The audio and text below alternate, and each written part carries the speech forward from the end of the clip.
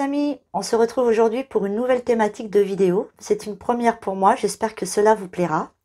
Alors je vais vous faire des tirages de cartes pour chacun des signes astrologiques en posant des questions euh, au guide et euh, pour savoir ce qu'ils ont à vous dire exactement euh, pour, pour aujourd'hui, pour demain, pour les semaines à venir. Donc entendez bien que tous ces tirages sont généraux et parlera forcément pas à tout le monde. Euh, c'est pour ça que je vous invite euh, à aller regarder aussi des vidéos de vos ascendants ou de votre signe lunaire pour avoir plus de messages euh, de vos guides.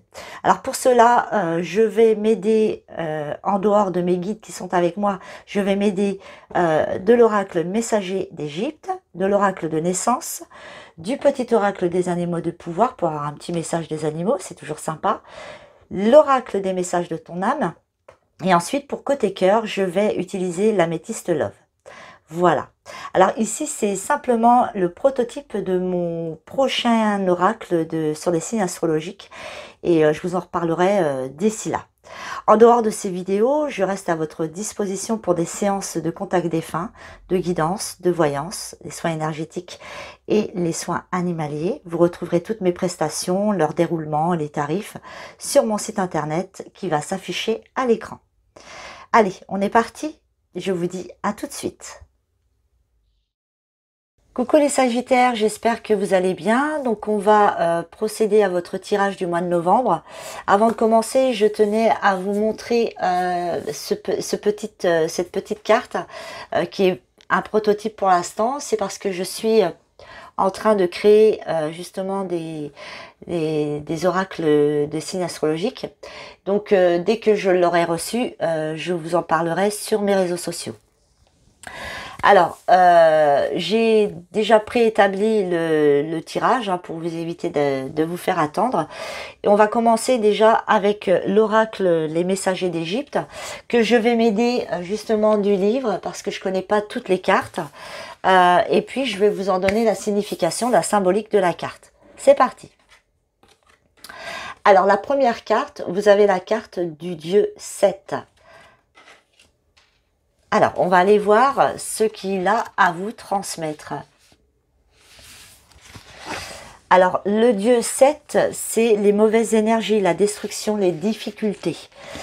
Méfiez-vous de ceux qui ont un visage aussi changeant que les sables du désert. Soyez vigilants et prudents quant à vos relations.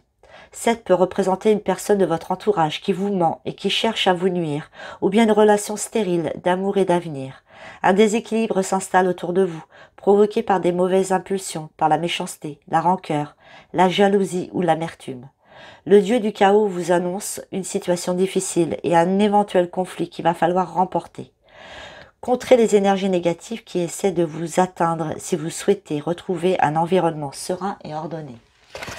Alors, ce Dieu vous met en garde par rapport à des personnes malsaines autour de vous, de vraiment ouvrir l'œil et d'arrêter de vous faire manipuler aussi par ce genre de personnes, parce qu'il y en a, il y en a beaucoup malheureusement. Et, euh, et justement, ces relations-là vous déstabilisent.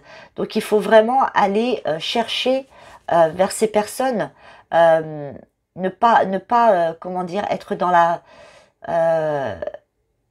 de pas tout le temps être dans la bienveillance, vous voyez, comme si euh, euh, vous lui pardonnez tout, ah bah oui, mais bon, le pauvre. Non, il faut vraiment aller chercher au fond de lui, euh, mais quel est son but, qu'est-ce qui fait qu'il vous fait ça? Comme ça, bah, vous allez vous rendre compte qu'en fait, il n'a pas la même image à vos yeux quand vous vous posez ces questions-là. Donc là, c'est ce qu'on vous invite à faire, c'est vraiment de d'être vigilant par rapport à votre entourage, par rapport aux personnes euh, que vous, bah, que vous côtoyez, euh, justement pour vous défaire de ça et euh, d'aller retrouver plutôt des énergies beaucoup plus sereines. Deuxième carte, vous avez la déesse René Noutet. Difficile, hein, les noms égyptiens. Alors, on va aller voir ce qu'elle a à vous dire.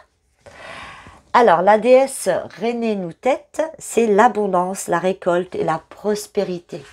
Comme quoi, on passe d'une carte vraiment euh, dark à une carte super lumineuse. Donc, c'est vraiment positif, quoi.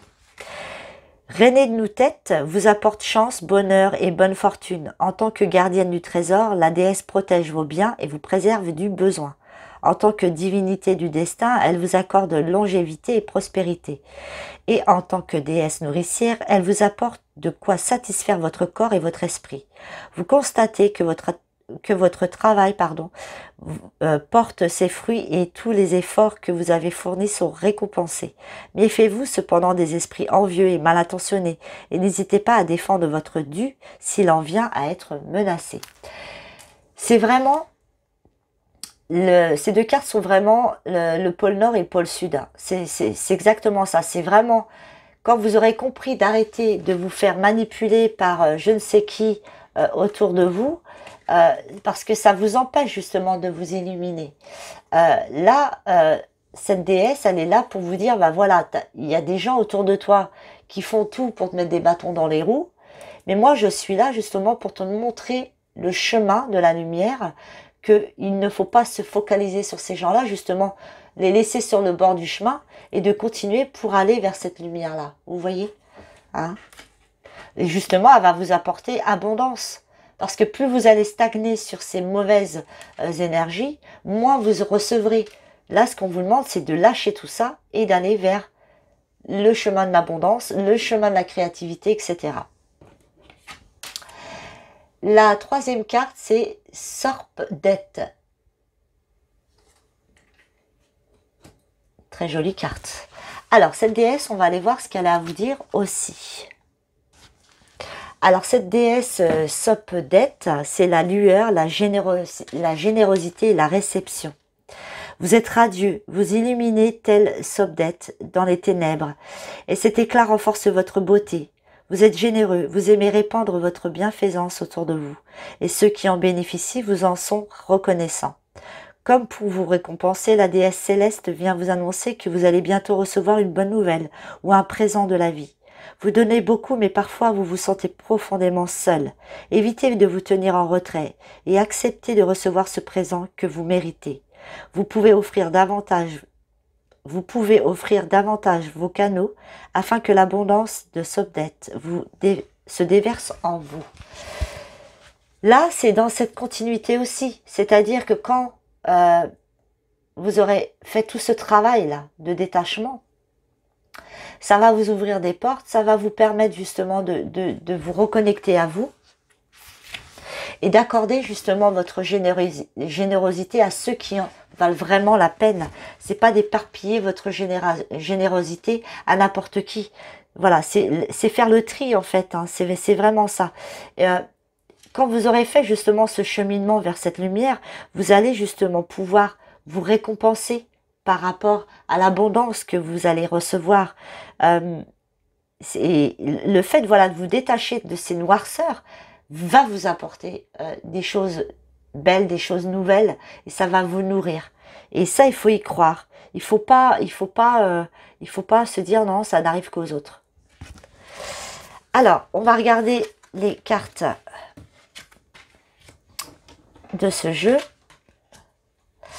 Alors cette carte-là, elle est souvent dans les signes, hein, c'est amusez-vous. Alors est-ce que c'est le fait euh, qu'on soit dans une euh, crise sanitaire qui fait que les gens bah, n'ont plus euh, l'envie de faire quoi que ce soit, n'ont plus l'envie de s'amuser?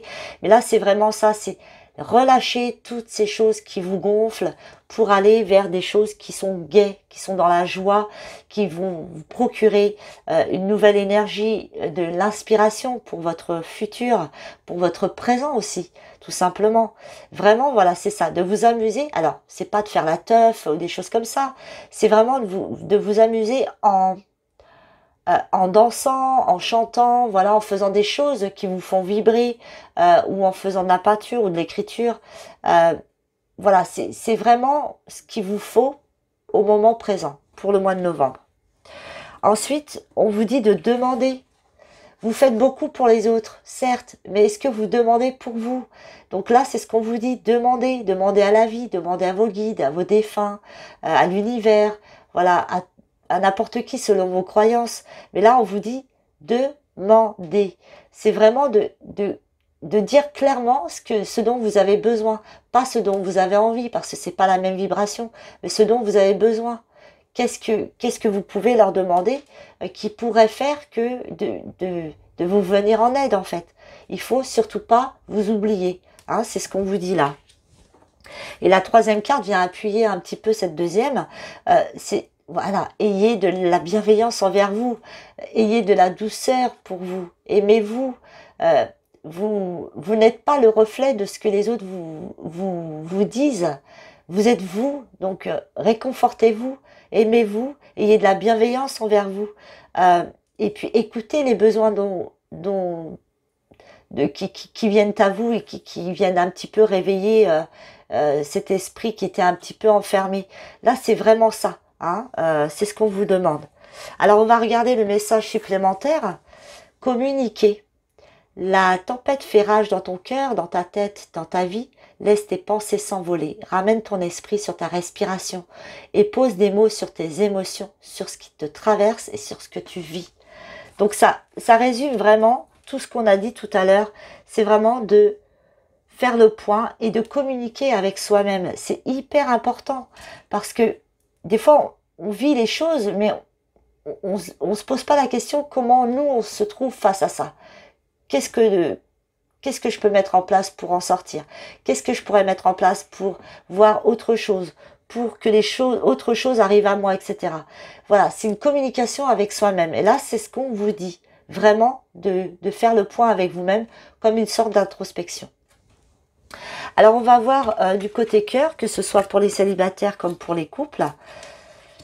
Alors, pour les célibataires, je vois comme s'il y aurait, euh, les cartes me disent, hein, euh, comme s'il y aurait un retour d'une personne que vous n'avez pas revue. Alors, ça peut être sentimentalement ou une personne de cœur, etc. et cette personne va, va sûrement venir un petit peu justement vous élever dans ces vibrations du cœur pour, pour aller réveiller hein, ce qui a été éteint. Alors, ça sera peut-être pas une, relation durable, euh, mais voilà, l'amour sera là. Euh, donc, accueillez, malgré tout, accueillez euh, pour justement remonter dans des superbes énergies.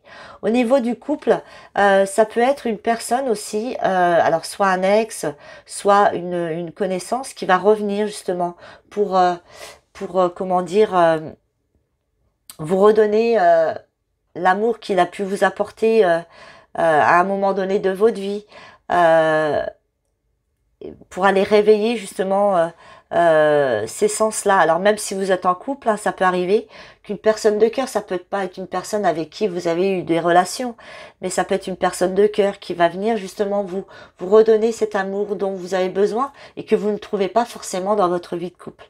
Donc voilà, accueillez tout simplement. Le petit message de l'animal est la tortue je me connecte à la sagesse de mes ancêtres et des anciens pour qu'ils me guident et me soutiennent. Là, on en revient à la carte de tout à l'heure. Demandez. Demandez et vous recevrez. Mais demandez avec le cœur. Demandez vraiment euh, sans attente. Et, et comment dire, euh, voilà, avec le cœur. Et vous recevrez. Et euh, là, c'est ce que vous dit l'animal, c'est vraiment de vous reconnecter à vous.